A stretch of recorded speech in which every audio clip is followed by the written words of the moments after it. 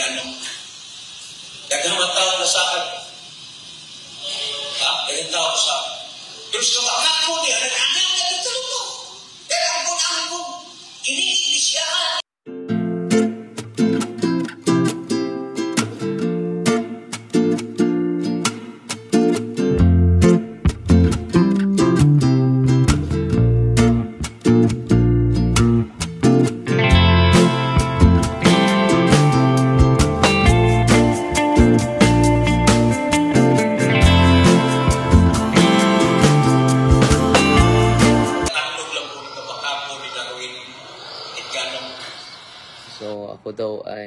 Pinakasinung pinakasinungaling, pina ah, kasinungaling, no? Bakakon, no? Uh, pakinggan natin.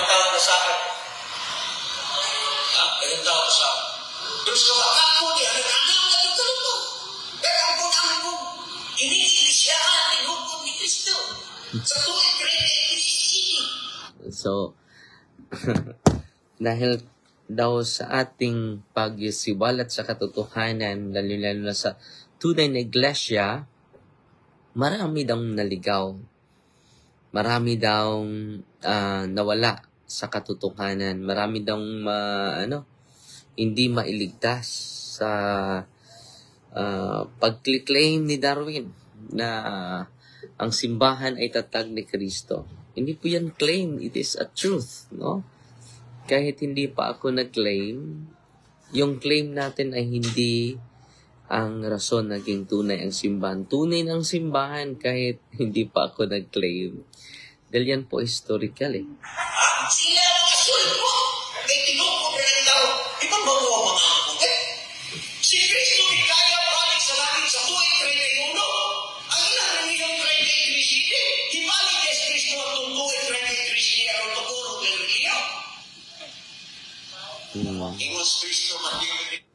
So sabi niya, paano yan? No? Si Kristo ay bumalik na sa langit 31 AD at naitatag yung simbahan nyo 33 AD. Paano yan?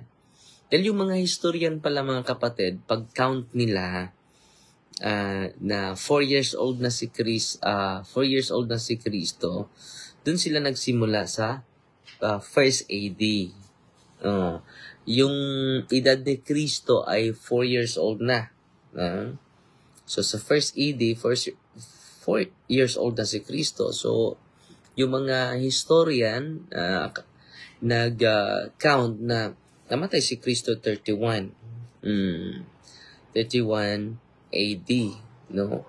Pero alam alam niyo naman na ah, 30 years old si Kristo at additional niyan ay uh, 3 years yung public ministry niya.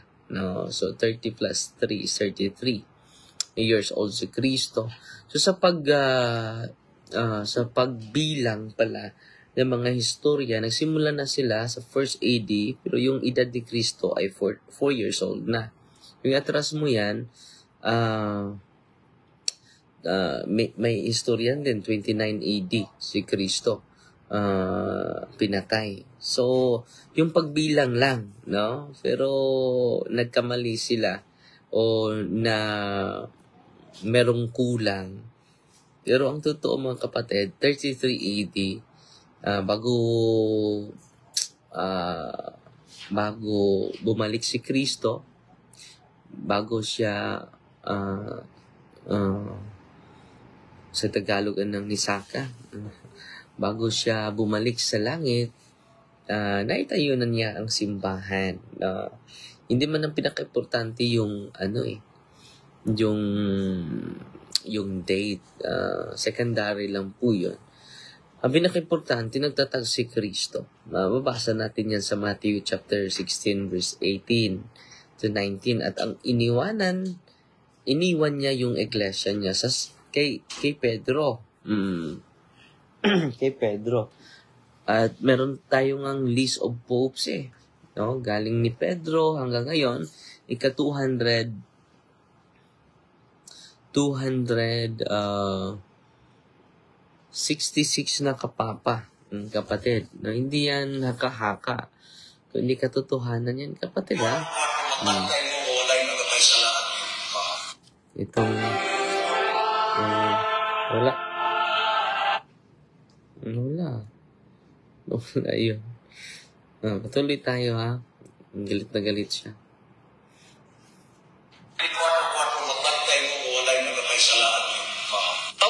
Nagkakay sa simbahan sa Mm. ka- katikit Mm. Mm. Yun ang sabi niya. No?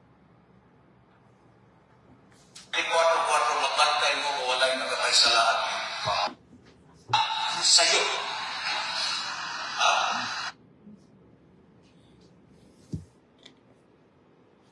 sa pagbuhat ko sa'yo. Una kay ilang itong kung pakuang sa'yo, ilang kong patuod sa sa'yo.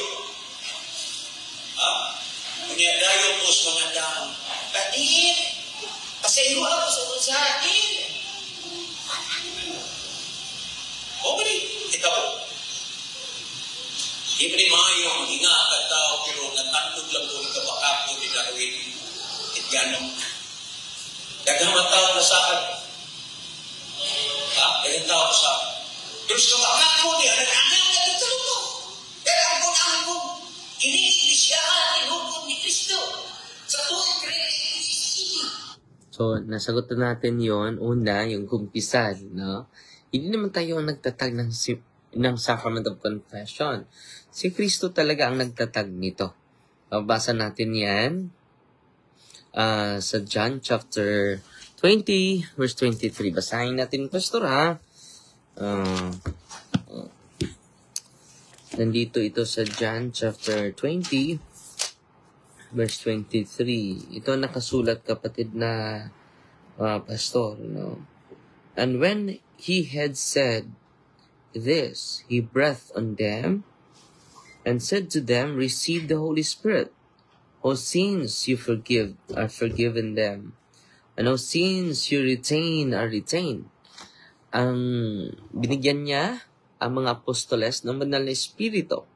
Ang pinatawad ninyo ng mga kasalanan sa mga tao ay pinatawad na rin.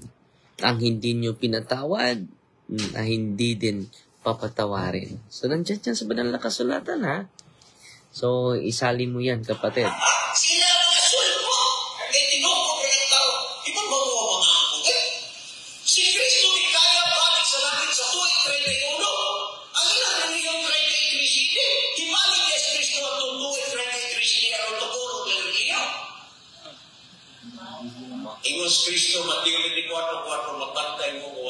Nagkakay sa lahat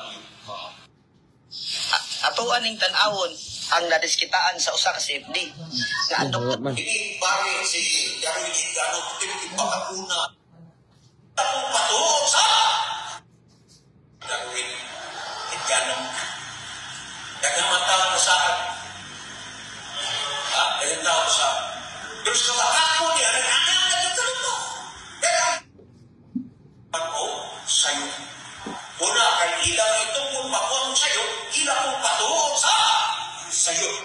Tiwaso na ito basa. Ah, Panginoon. Kunya dayo mo sa mga daan.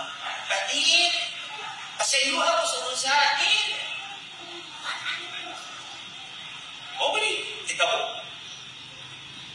Di ni ang tao pero lang ni Darwin. At tao na sa akin. Ha? Tao na sa akin. Pero sa kabakapo niya, nag-angang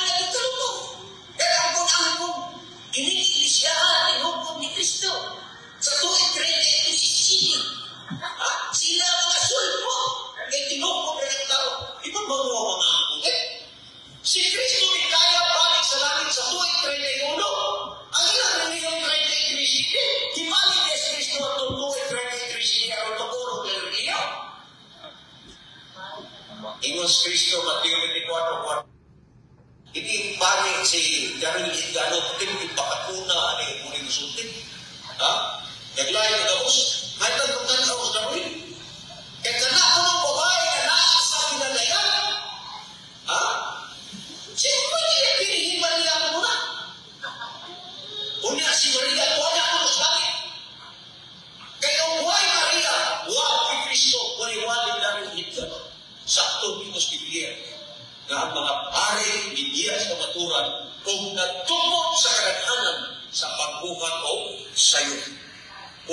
Una, kay ilang itupot pagbuhat sayo, ilang mo patuot sa sayo.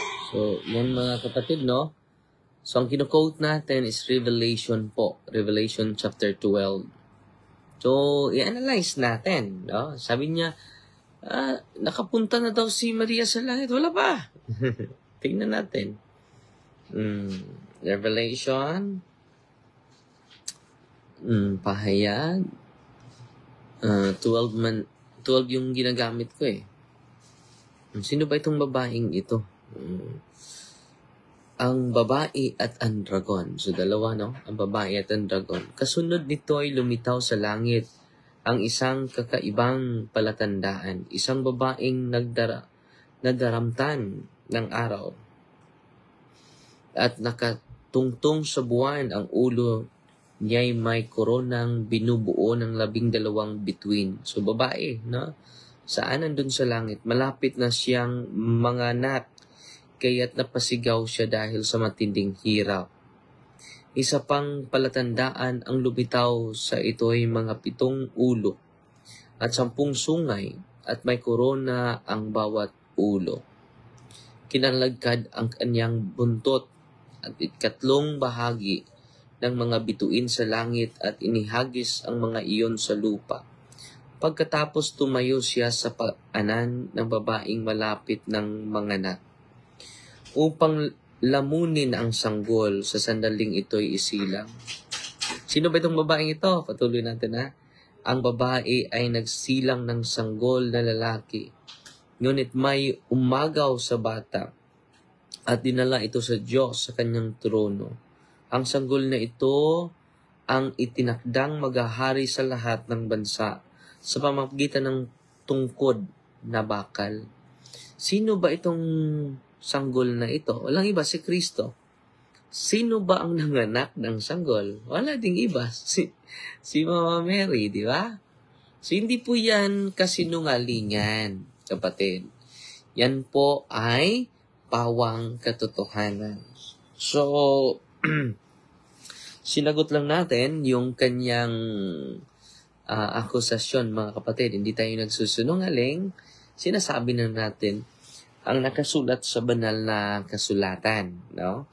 At uh, i-present nila kung hindi ito. Kung hindi si Mama Mary ito, sino itong babaeng ito? Meron bang ibang babae na, na nanganak kay Kristo? Hmm, pangalawa, uh, kung hindi si Kristo ang nagtatag ng Iglesia Katolika, sino? Hmm ipakita nyo, hindi yun si Constantine. Dahil si Constantine ay uh, nandyan na ang simbahan kahit hindi pa siya emperador, no? Pinipersecute na yung unang Santo Papa. Hindi po yun si Constantine, mga kapatid. Walang iba si Kristo naman, di ba? Kung uh, yung akusasyon niya na confession, bakit itinatag ni Kristo sa John chapter 20, 20 verse 23, binigyan sila ng banal na espiritu upang makapatawad ng mga kasalanan sa mga tao. Sino ba ang sumusunod niyan? Ang Iglesia Katolika lang, no? At si San Pablo sa 2 Corinto 5.19, basahin natin. Ito ang nakasulat, mga kapatid.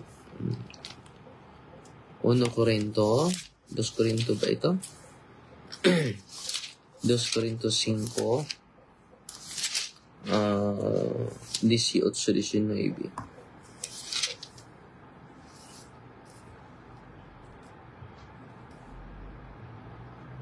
Mm-mm.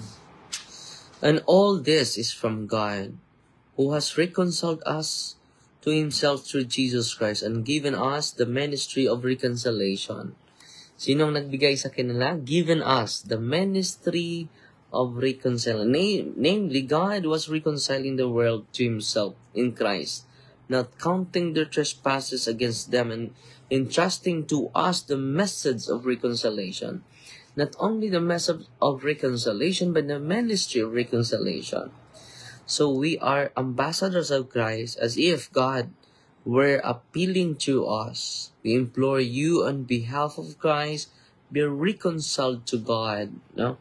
For our sake, He made Him to be sin, who did not know sin, so that we might become the righteous of God in Him.